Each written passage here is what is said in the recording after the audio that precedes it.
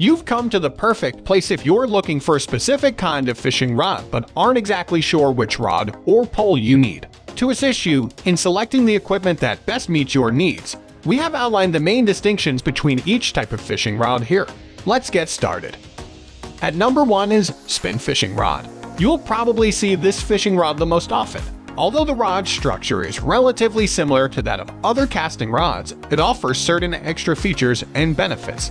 With spin rods, users can grasp the object more firmly and with more force by using their dominant hand. When casting and reeling in, the reel is positioned on the bottom end of the rod. The rod is relatively simple to use. It is most suitable for fishing in lakes, rivers, or boats, given the features. These rods and reels are available in all sizes and may be used in almost any fishing setting.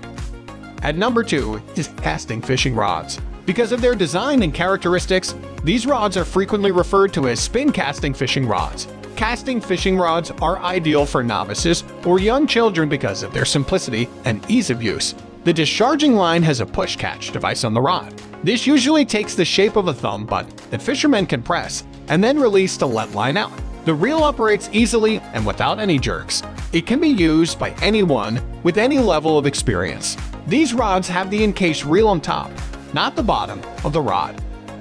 At number 3 is telescoping fishing rods. As the name implies, these rods are smaller and more transportable. It is not too difficult to carry the rod to the fishing location. Additionally, the lightweight construction makes long-term fishing comfortable for the user. This fishing rod's ease of carrying is its best feature. The rod used to get shorter until it was the shortest length. The length can be extended by users as needed.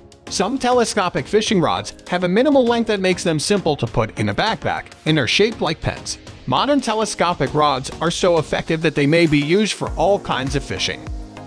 At number 4 is fly fishing rods. So fly fishing requires a fly fishing pole. Almost any kind of fish can be targeted with fly rods because they come in a huge variety of sizes and lengths. A fly line with frequently delicate presentations is delivered to fish using the rod as a lever.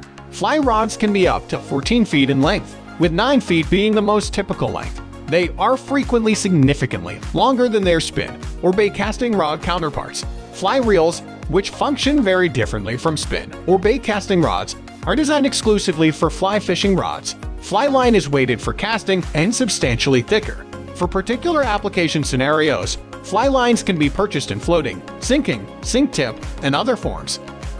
At number 5 is ultralight fishing rods. This kind of fishing rod is designed to be light and thin, as the name would imply. This makes tiny fish species more enjoyable and allows more delicate presentations.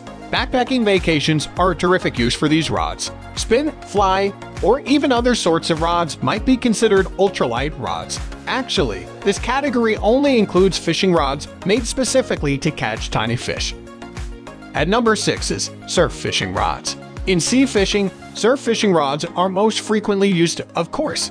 The rods that are utilized have an extra length and a tough butt. The increased length enables the fisherman to conveniently throw a heavy bait rig to the intended location. Surf rods are fantastic for casting from the surf, beach, pier, or other locations along the shore. Yet they are not the best type for everyone. The rod can be purchased in either a spinning or casting manner. At number 7 is trolling rods Boats that are moving employ trolling rods. When you are trolling, your boat's motion causes your bait to move through the water. Trolling rods typically have larger, stiffer reels that can accommodate a lot of line. Most of the time, these rods are just good for trolling. At number 8 is ice fishing rods. Ice fishing rods are often very short spin rods. This makes it simple for the angler to reel and fish from just above the ice fishing hole. These rods are essentially exclusively used for ice fishing, but they work pretty well for it. They may be a complete blast when battling a big fish beneath the ice.